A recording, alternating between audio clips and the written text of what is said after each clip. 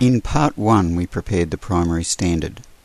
In part 2 we prepared the equipment.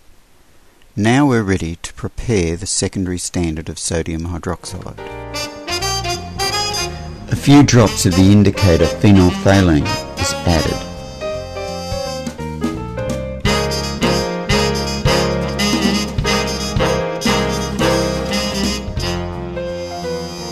The initial burette reading is recorded.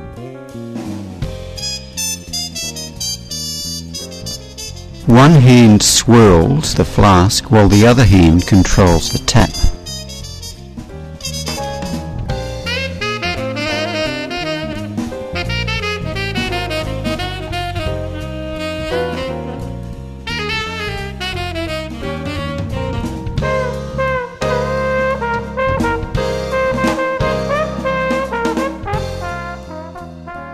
The indicator colour changes at its endpoint and the titration is stopped.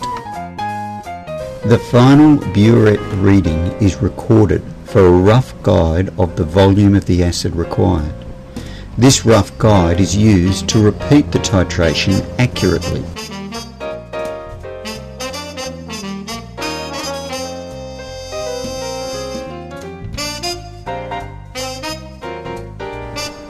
This time when the endpoint is approached, the acid is released, only a drop at a time.